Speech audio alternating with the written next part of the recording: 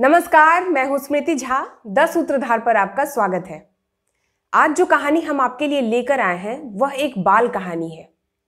बाल कहानियों में जो उत्सुकता होती है, स्पर्धा होती है द्वंद्व होता है, मासूमियत होती है, बाल हट होता है, वे सभी तत्व इस कहानी में हैं।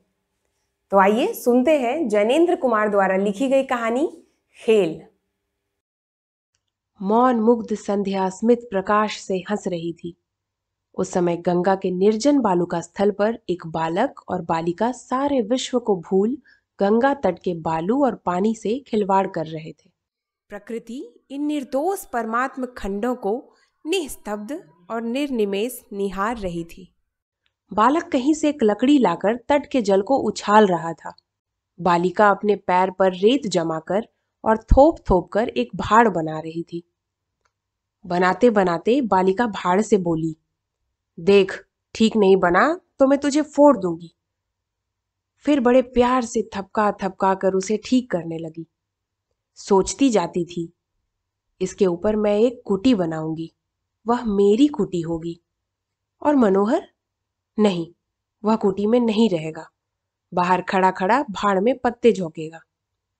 जब वह हार जाएगा, बहुत कहेगा, तब मैं उसे अपने कुटी के भीतर ले लूँगी।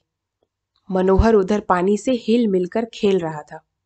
उसे क्या मालूम कि यहाँ अकारण ही उस पर रोष और अनुग्रह किया जा रहा है। बालिका सोच रही थी, मनोहर कैसा अच्छा है, पर वह दंगा ही बड़ा है, हमें छेड़ता ही रहता है। अब के दंगा करेगा तो हम उसे कुटी में साजी नहीं करेंगे। साजी होने को कहेगा तो उससे शर्त करवा लेंगे, तब साजी करेंगे। बालिका सुरबाला सातवें वर्ष में थी। मनोहर कोई उससे दो साल बड़ा था। बालिका को अचानक ध्यान आया। भाड़ की छत तो गर्म हो गई होगी। उस पर मनोहर रहेगा कैसे? फिर सोचा, उससे मैं कह दूँगी, भाई, छत बहुत तप रही है, तुम जलोगे, तुम मत आओ। पर वह अगर नहीं माना, मेरे पास बैठने को आया ही तो मैं कहूँगी, भाई, ठहरो, मैं ही बाहर आती हूँ। पर वह मेरे पास आने की जिद करेगा क्या? ज़रूर करेगा। वह बड़ा हठी है। पर मैं उसे आने नहीं दूँगी। बेचारा तपेगा। भला कुछ ठीक है? ज़्यादा कहेगा तो मैं धक्का दे दूँगी और कहूँगी, अरे, जल जाएगा मूर्ख! यह सोचने पर उसे बड़ा मज़ा सा आया, पर उसका मुँह सूख गया। उसे मानो सचमुच ही धक्का खाकर मनोहर के गिरने का हास्योत्पादक और करुण दृश्य सत्य की भांति प्रत्यक्ष हो गया।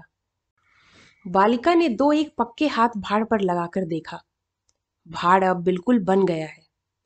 माँ जिस सतर्क सावधानी के साथ अपने नवजात शिशु को बिछौने पर लेटाने को छोड़ती है, वैसे ही सुरबाला ने अपना पैर धीरे धीरे भाड़ के नीचे से खींच लिया।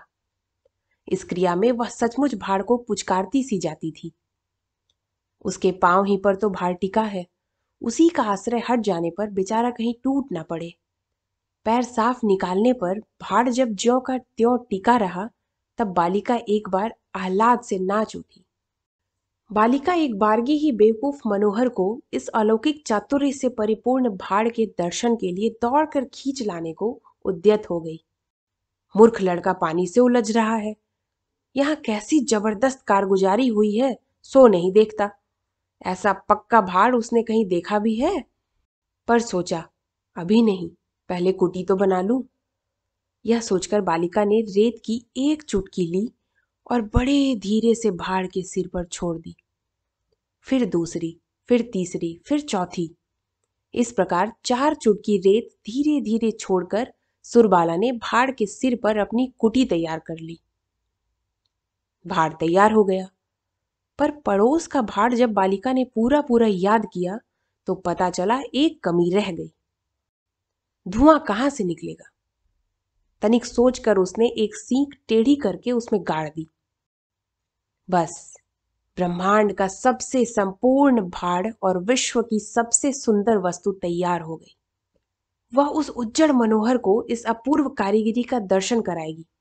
पर अभी जरा थोड़ा देख तो और ले। सुरबाला मुँह बाए आँखें स्थिर करके इस भाड़ श्रेष्ठ को देखकर विस्मित और पुलकित होने लगी। परमात्मा कहाँ विराजते हैं, कोई इस बाला से पूछे तो वह बताए इस भाड़ के जादू में।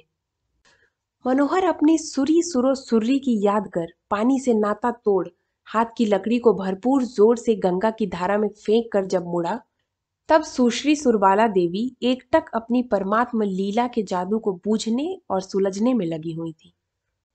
मनोहर ने बाला की दृष्टि का अनुसरण कर देखा। श्रीमती जी बिल्कुल अपने भाड़ में अटकी हुई हैं। उसने ज़ोर से कह कहा लगाकर एक लात में भाड़ का काम तमाम कर दिया।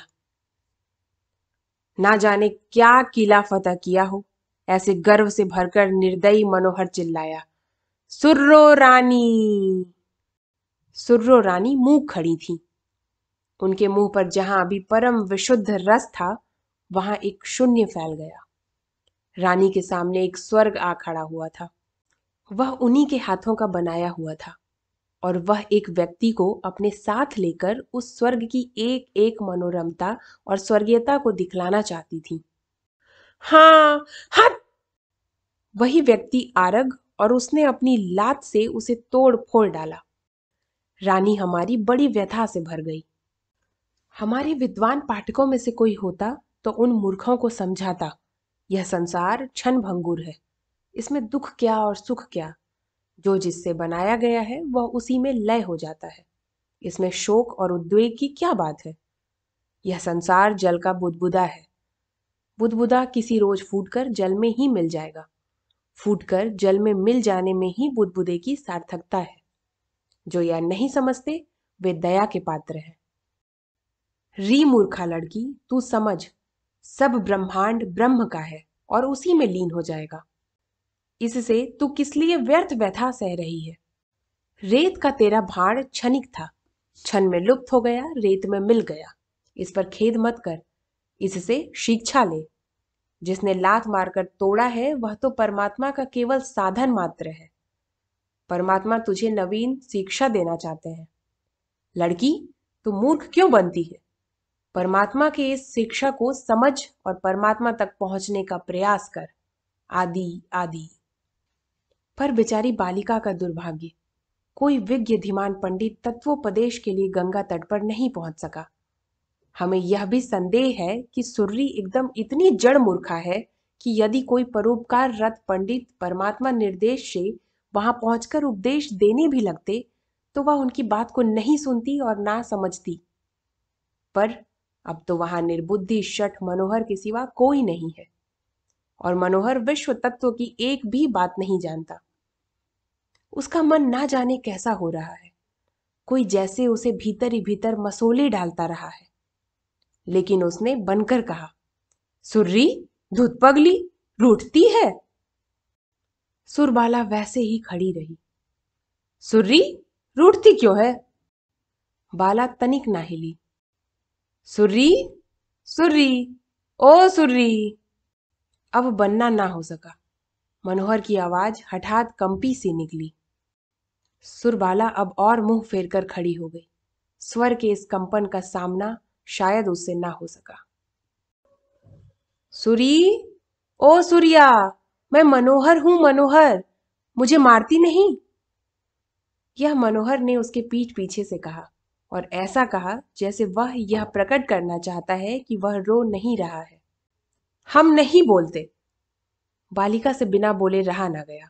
उसका भार शायद स्वर्ग विलीन हो गया।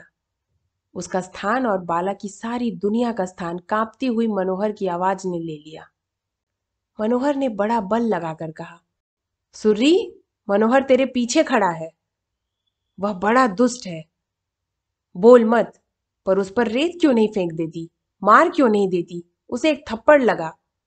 वह अब कभी कसूर नहीं करेगा। बाला ने कड़क कर कहा, चुप रहो। चुप रहता हूँ, पर मुझे देखोगी भी नहीं। नहीं देखते। अच्छा मत देखो, मत ही देखो। मैं अब कभी सामने ना आऊँगा। मैं इसी लायक हूँ। कह दिया तुमसे, तुम चुप रहो, हम नहीं बोलते। बालिका में व्यथा और क्रोध कवि का खत्म हो चुका था।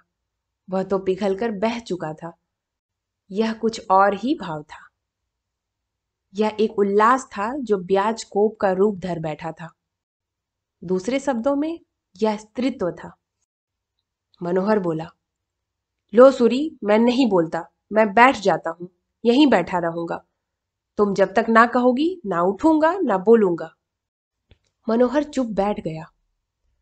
कुछ क्षण बाद हारकर सुरबाला बोली, हमारा भाड़ क्यों तोड़ा? हमारा भाड़ बना के दो। लो, अभी लो। हम वैसा ही लेंगे।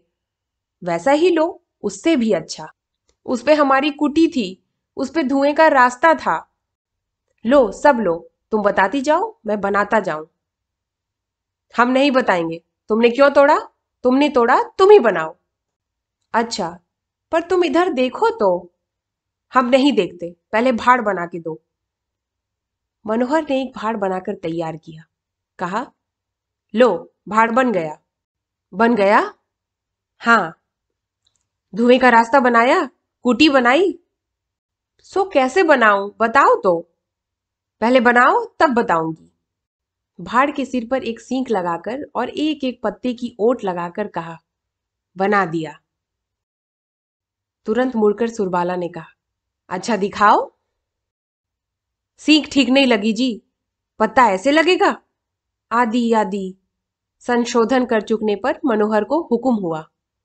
थोड़ा पानी लाओ, भाड़ के सिर पर डालेंगे। मनोहर पानी लाया।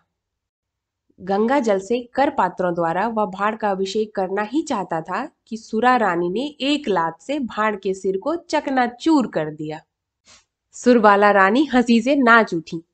मनोहर उत्फुलता से कह कहा लगाने लगा। उस निर्जन प्रांत में वह निर्मल शिशु हास्य रव लहरें लेता हुआ व्याप्त हो गया। सूरज महाराज बालकों जैसे लाल लाल मुँह से गुलाबी गुलाबी हँसी हंस रहे थे। गंगा मानो जान बूझ कर किलकारियाँ भर रही थी। और और वे लंबे, ऊँचे ऊँचे दिग्गज पेड़, दार्शनिक पंडितों की भांति सब हास्य की सार शून्यता पर मानो मन ही मन गंभीर तत्वालोचन कर हँसी में भूले हुए मूर्खों पर थोड़ी दया बखाना चाह रहे थे। आशा करती हूँ आपको यह कहानी पसंद आई होगी। इस कहानी की फरमाइश हमारे एक दर्शक ने की थी। यदि आप भी कोई कहानी सुनना चाहते हैं तो कमेंट करके बताएँ। आज के लिए इतना ही। दस सूत्रधार देखते रहिए और चैनल को सब्सक्राइब करिए, दूसरों से भी करवाइए। कहानी पसंद आई हो तो इसे लाइक भी कर दीजिए। आभार।